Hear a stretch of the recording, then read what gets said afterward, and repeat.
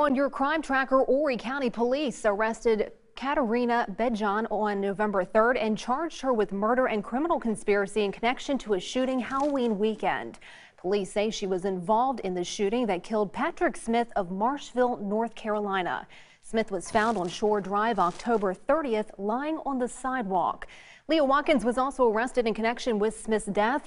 Both those suspects remain in custody at the J. Reuben Long Detention Center. We'll have much more about this case online at WBTW.com.